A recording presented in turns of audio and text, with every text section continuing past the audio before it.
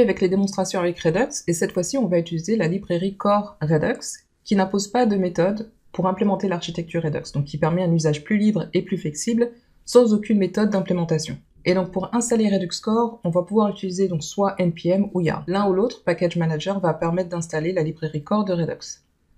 On va également installer d'autres librairies, donc comme React Redux, qui va nous permettre d'accéder à d'autres composants et d'autres méthodes, comme Provider par exemple, qui va permettre de connecter le store avec notre application React. On voit donc ça en pratique avec une démonstration.